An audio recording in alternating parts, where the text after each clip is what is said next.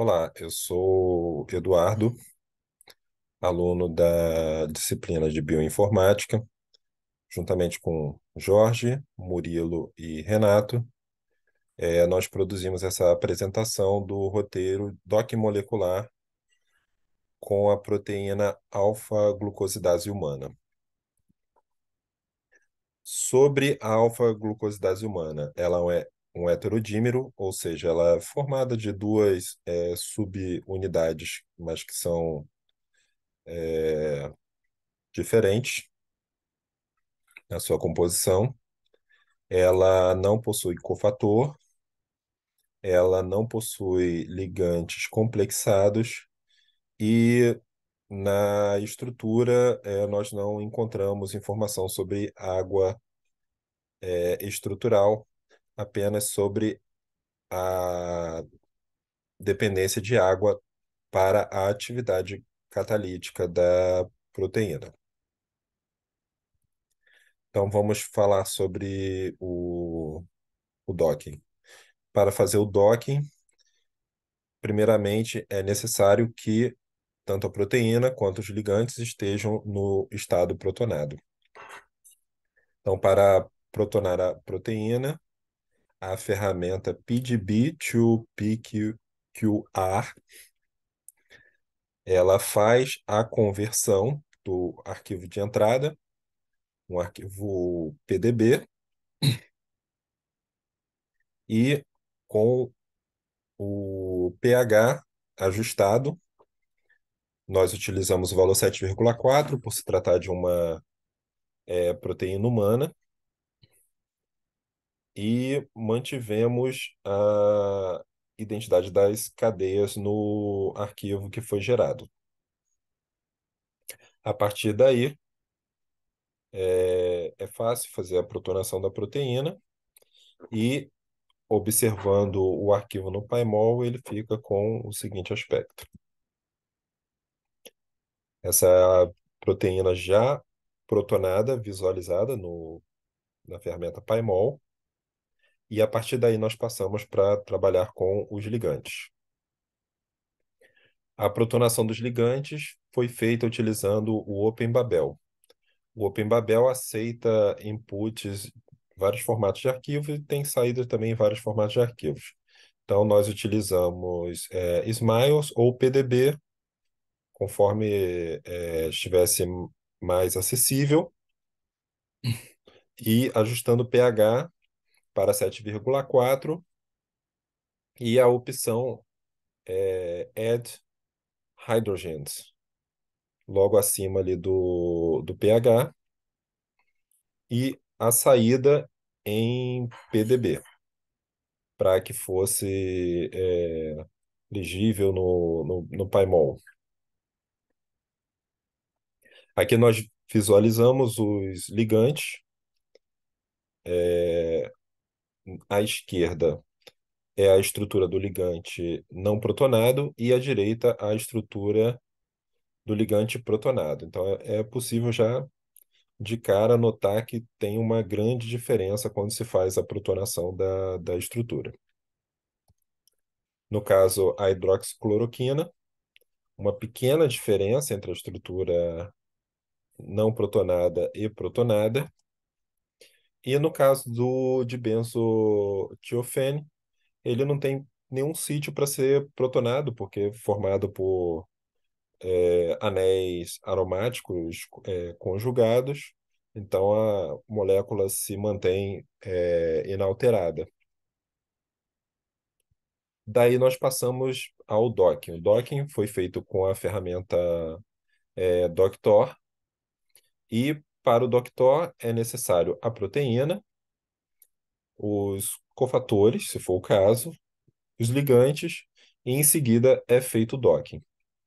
É interessante notar que para fazer uh, o docking é necessário um certo conhecimento prévio da, da, da proteína, porque uma das alternativas de fazer o docking é colocando, é, delimitando as coordenadas do possível sítio de interação.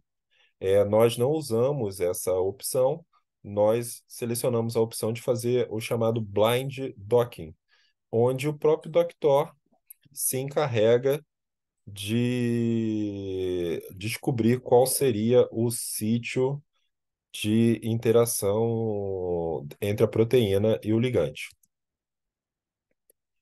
E os resultados do Doctor, diferente de, de outras ferramentas, ele vem num formato é, compactado, zip, onde tem vários arquivos é, PDB, né, cada um numerado com um run, ou seja, uma corrida.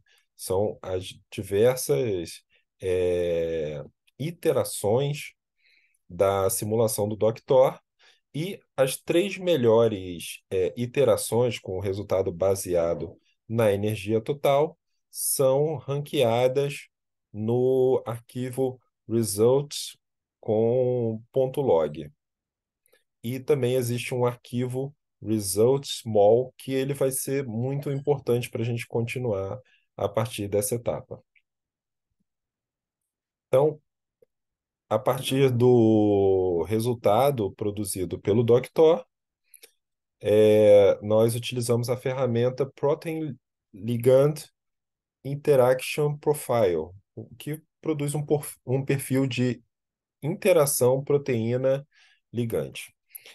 Esse, assim como o, o, o Doctor, ele aceita como entrada arquivos PDB, mas aqui é, é, é importante fazer um, um, um parêntese, que o arquivo PDB, ele antes tem que ser feito, ele, ele tem que ser produzido a partir do arquivo PDB da proteína, do resultado do Doctor, e o arquivo MOL, que coloca as coordenadas do ligante é, junto da proteína.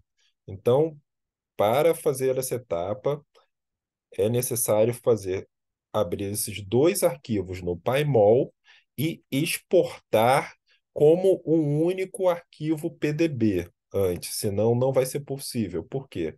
Porque o Pelip ele tenta identificar a, a interface, a interação, a interação da proteína com o ligante para ser analisado.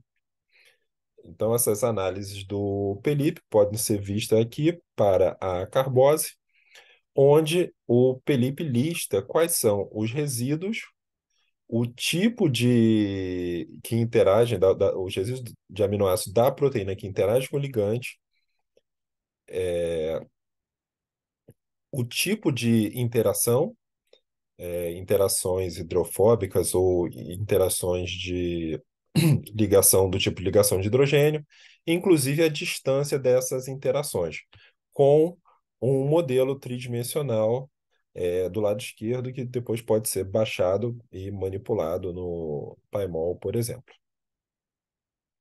Então, o perfil de interação proteína ligante para a carbose, com interações nos resíduos glicina 164, serina 179, treonina 180, asparagina 650 e histidina 651, interações de, do tipo ligação de hidrogênio e interações hidrofóbicas no resíduo prolina 175. Aqui em o zoom da estrutura do perfil de interação proteína-ligante da carbose. E aqui é o perfil de interação proteína-ligante da carbose visto no PyMol, onde é possível identificar os resíduos de aminoácidos próximos com essas ligações é, tracejadas em amarelo, que são pontos de hidrogênio, está aqui do, do outro ângulo, e a gente vê que houve algumas coincidências entre essas interações pelo PELIP e o PyMol. O próximo é o perfil de interação proteína ligante da hidroxicloroquina, né, com menos interações do que a, a, a carbose. O mesmo perfil de interação visto aqui com zoom. E Agora, em comparação, o perfil proteína ligante, como é gerado pelo paimol. E por último, o perfil de interação para o dibenzotiofene, que só tem exclusivamente interações do tipo hidrofóbica, aqui em zoom. E o paimol, ele não exibe essas interações do tipo hidrofóbico. Ele, no seu menu, ele só mostra ligações de hidrogênio, mas é possível identificar os resíduos de aminoácidos em torno da molécula do dibenzotiofeno. E nessa tabela, um resumo das interações, né? Do lado esquerdo, é, as interações listadas pelo PELIP, e do lado direito o paimol. Então é possível notar que nem todas as é, interações proteína ligante é, que o paimol apresenta, que são é, sempre de, do tipo ponto de hidrogênio, vão aparecer no Pelipe. O Pelipe parece que tem um pouquinho mais de, sugere um pouquinho mais de interações entre proteína ligante quando comparado ao o paimol. E aqui eu encerro o vídeo e espero que tenha sido de ajuda a todos. Muito obrigado.